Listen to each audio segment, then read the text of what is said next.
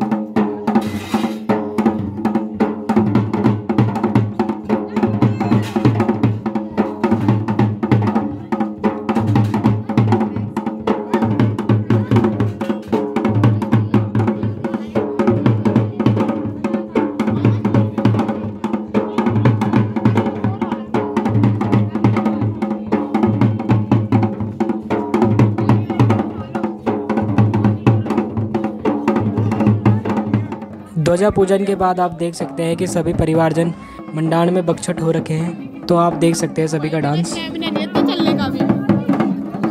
किसका फ़ोन है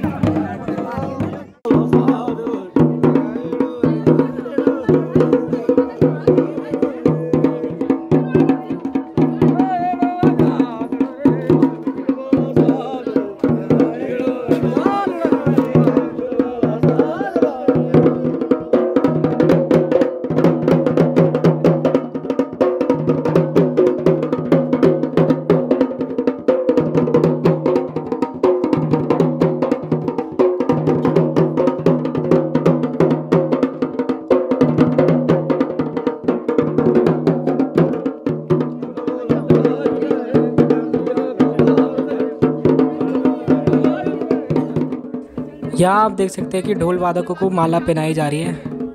और सभी एक एक करके, जिनके नाम से ध्वजा चढ़ाई जाएगी मंदिर में, उन्हें माला पहनाएँगे। तो आगे देख सकते हैं आप सभी।